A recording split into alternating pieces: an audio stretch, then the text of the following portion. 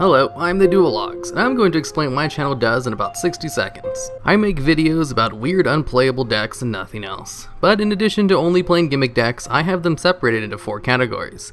Extreme theme decks, codename XTR. These decks follow a theme build style to the extreme, like only playing cards with Kuriboh in their pictures, or only having level 1 monsters and nothing else, etc etc.